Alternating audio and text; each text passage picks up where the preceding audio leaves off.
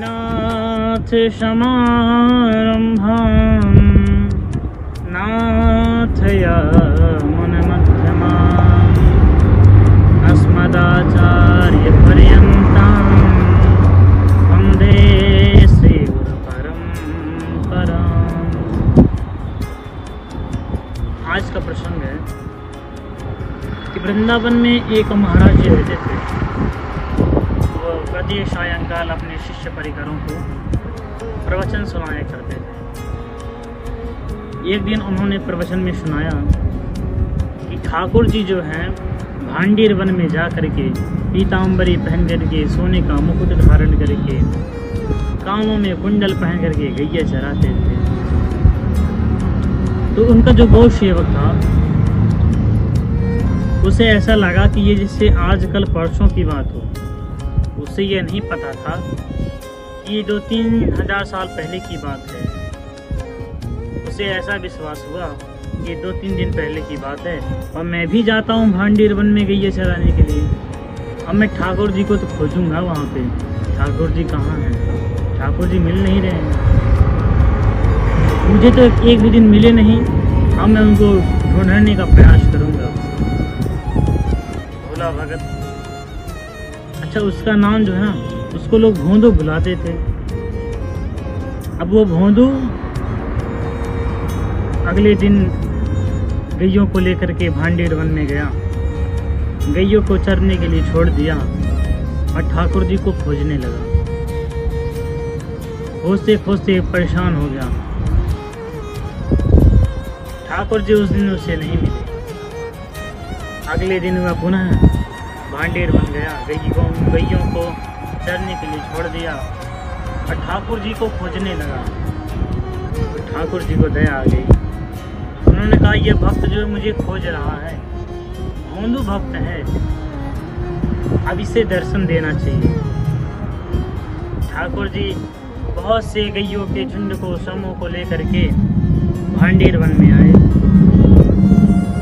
और जब भोदू ने देखा कि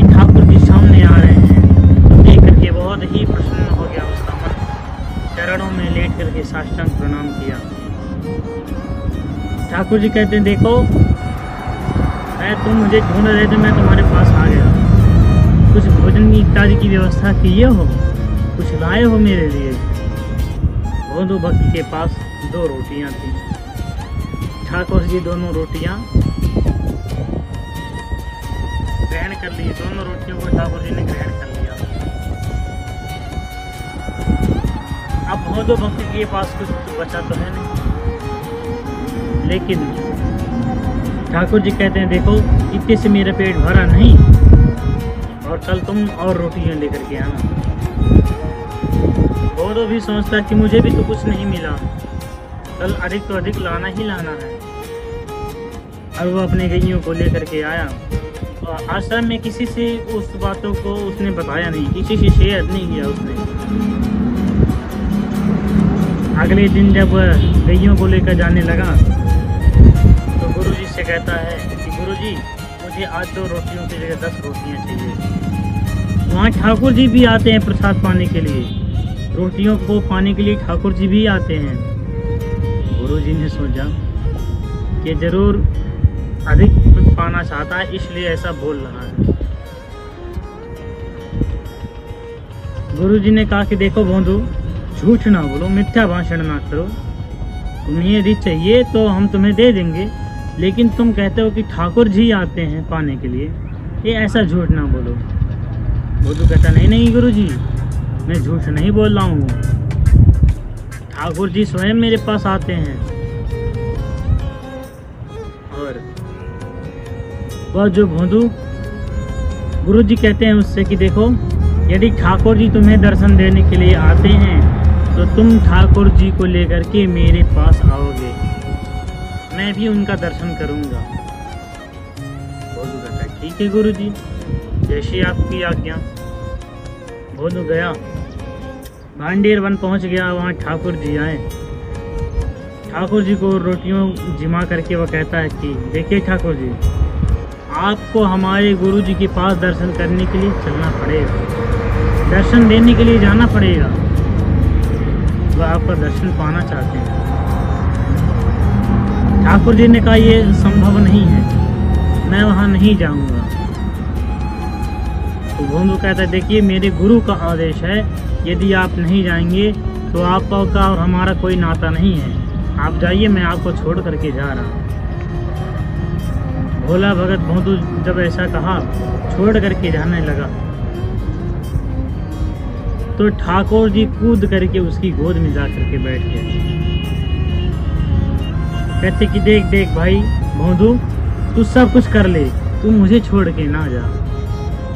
तू जहाँ कहेगा मैं वहाँ चलूँगा। और भोंदू भगत ने अपने कमर पर ठाकुर जी को बिठा करके, लाला को बिठा करके आश्रम में ले आए। जब गुरु जी ने ऐसी छवि देखी कि ठाकुर जी भोंदू की गोद में बैठ करके आ रहे हैं तो तुरंत जाकर के चरणों में साष्टांग प्रणाम। किसके ठाकुर जी के नहीं, उस भोंदू के, उस भोले भगत के चरणों में जाकर के उन्होंने प्रणाम कर लिया गुरु जी ने। कहा, धन्य है तेरी भक्ति और धन्य है तू। ये सत्य घटना है। आप भी ठाकुर जी को जिस रूप में पाना चाहेंगे यदि खोजेंगे तो ठाकुर जी मिल जाएँगे। आजकल तो कहावत भी चलती है, खोजोगे तो भगवान भी मिल जाएँगे। हमारे हृदय में सच्ची प्रेम होनी चाहिए। ठाकुर जी को पानी चाहिए, ललक होना चाहिए।